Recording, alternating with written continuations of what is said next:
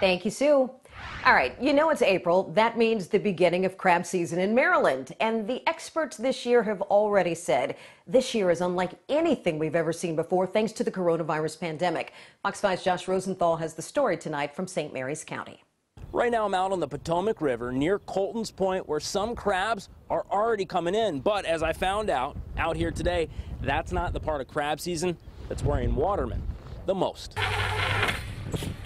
Yeah, right now they're not worried about reeling them in. They're worried about getting them to you. It's not looking very good. Robert T. Brown is the president of the Maryland Watermen's Association. Because of factors like a mild winter, he's predicting an above average number of crabs this year. That's typically great news. The problem is, a lot of us eat those crabs in restaurants. Right now, we have no idea when they'll open back up. 50% of the people eat crabs at restaurants when they sit down.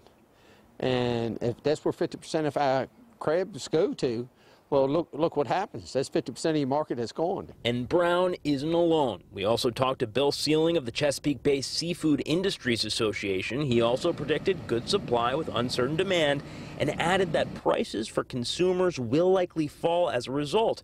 Neither he nor Brown were sure by how much, so we called around to restaurants. One, the Bethesda Crab House, said they can only reduce prices on crabs by so much without losing money, although they are currently running a special on smaller ones. Supply and demand. We're going to have the supply, but where are the people going to get the crabs at? Right now it's just carryouts.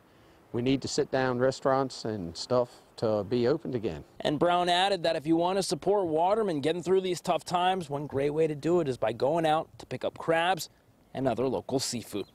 Guys?